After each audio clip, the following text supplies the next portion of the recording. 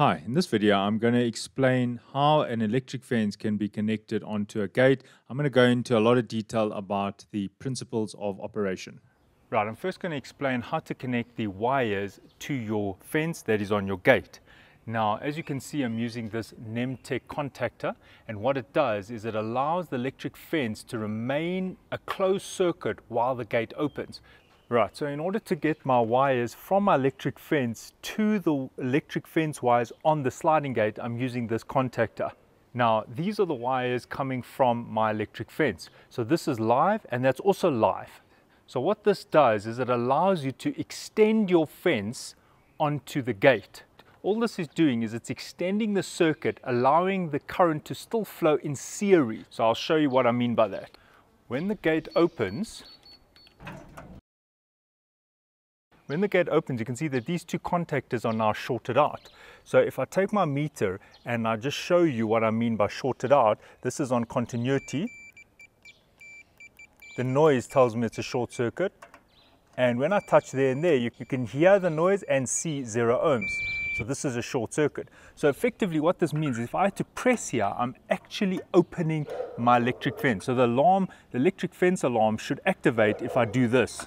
Now, if you want to know the resistance of the wires that are on your gate, the newly added wires to extend your fence to your gate, you do as follows. So if I measure the resistance of the wires that are on top of the gate, you can see the ohms is 6.3 ohms. So as you can see, there's no earth here. If you wanted to have an earth, you would need to have another one of these here and have a third wire going on your gate. That is very uncommon. Right, if you have a look at the wiring on the electric fence, you'll see the very first wire is just going in that direction. Then when it gets to the end, it jumped to this wire. It will return on this wire. Then this wire is jumped to the next one and it goes along to the other side of the gate. Then that one will return on this wire.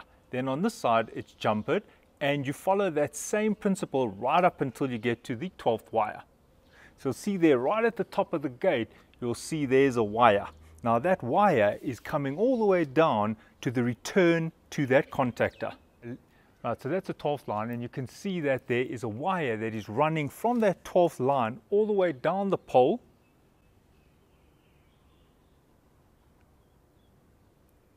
and it makes its way here. So what I'm saying is that that wire is the very first line of your fence, line 1, and that one is line 12. Now if I look at the other side of the gate, all right, so here is the very first wire that's coming from that contactor running along the gate and there you can see it's jumpered to line 2. Then line 2 runs along the gate, jumpered on the other side and then returns on line 3. So there you can see it returns on line 3 and then it's jumpered to line 4 running along the gate and returns on line 5. Then 5 is jumped to line 6. 6 running along the gate and returns on line 7 and you follow that all the way until you get to the final lines. So there you can see on the top that's line 11 jumper to 12 running along the gate 12 going back to the contactor. Even though it's on a gate I still like to use tensioners. Now these two wires are coming from your fence. So all you need to do is open one of the lines on your fence, any live wire, and just open it, run it here, and the return goes to the other side of that line you opened. Right, I just want to demonstrate the electric fence aspect here. So when I open the gate and the electric fence is still on, so if I press this in, the electric fence should actually activate the alarm.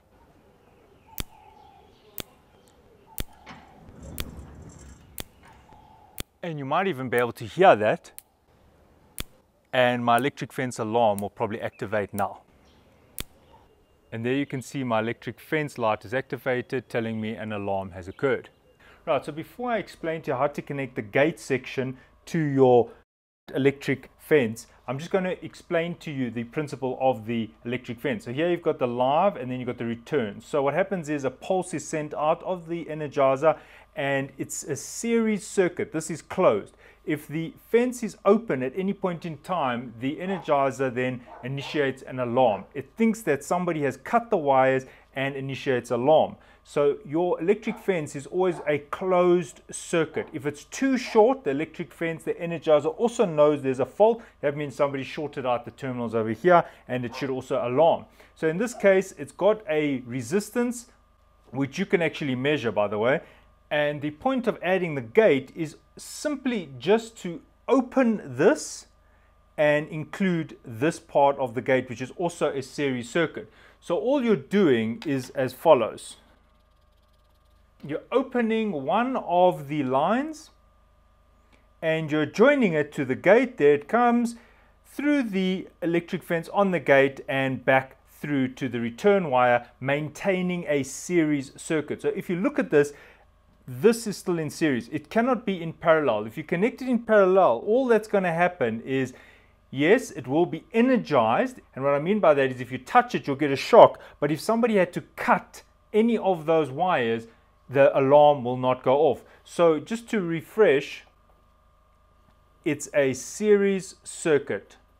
There's the energizer and there is the entire wire all the way back to the supply, a series circuit. By adding the gate, all you're doing is you're lengthening this, but still a series circuit. So keep that in mind. Because some people think they can just add this in parallel. Yes, there'll still be a high voltage here, but if I had to cut that, if someone had to climb on your gate and cut the wires, your energizer will not alarm. It will only alarm if the series circuit is broken. In that sense, if you have a look at this, you can see here comes the current flowing here, series through the wires on the gate there, returning there. Any point on this travel, if somebody cuts the wires, the electric fence energizer will alarm. So that is the principle of how you connect the gate section. You don't have to do it like this. I'm just giving you one option. If you're wondering what this is, this is your earth. Remember that the earth wires are always running nearby your live wires so that if somebody moves the live wire and it touches the earth, you'll also get an alarm activation. So the next question is how do you wire this? Yes, in principle this is easy, but now I'm going to show you the wiring layout.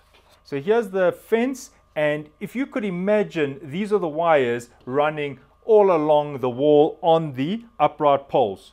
So I haven't numbered them because people like to put the live and the earth in different sequences. So I'm just going to show you the principle. The, principle is that live wire goes round your whole property, as you can see, goes round your property. Now you might decide, you know what, you want to put your earth wire as number one. So that would be number one, there's your earth. Then let's say that is number two. Then you might say, okay, number three, you want your earth again. So then you're doing that. Now, number four, this is the live. Now, number five, there's your earth again. Now you say, no, number six, you want it to be alive. It's up to you how you set this up, and I'm definitely not prescribing it. What I'm saying is, if you can have a look, you can see this the live wire is running in the loops all the way around the property, all the way to return home. So in order to connect the gate section to your fence, all you need to do is open any one of these live wires. Wherever you are, whichever is closest to the gate, all you're doing is you're literally opening it, cancel that, and there goes your gate section. So let me show you again. So here happens to be a 12 wire and this is on your gate. You've already installed your poles and I've numbered them 1 to 12. These are your bobbins and there you can see on the other side of your gate you've got your 1 to 12. So how do you connect these? Now remember I said that the live on mine comes in there on number 1. So I'm using number 1 of my wires that are on the gate to be my first line. So there comes the live and what happens is I'm going to jump it to line 2.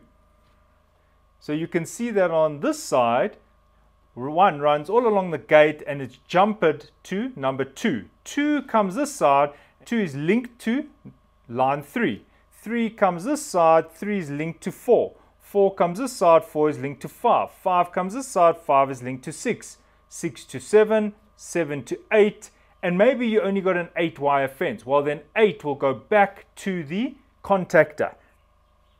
That will go back to the live of your electric fence. But if you've got more wires, then 8 will be linked to 9, 9 will be linked to 10, 10 to 11, 11 to 12, and 12 is coming all the way back here to my contactor. So if you look at this, while it might look like they're in parallel, they're not. This is a series circuit. So if somebody had to come and cut anywhere, any one of these wires, your electric fence alarm will activate.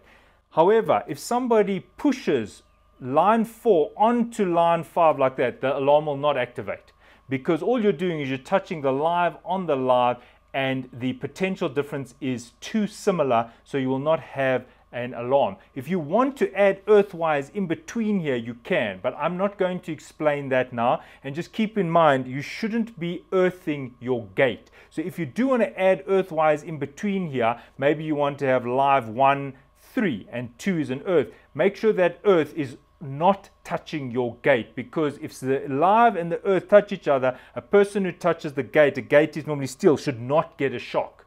Right, I'm just showing you if all of the wires are live.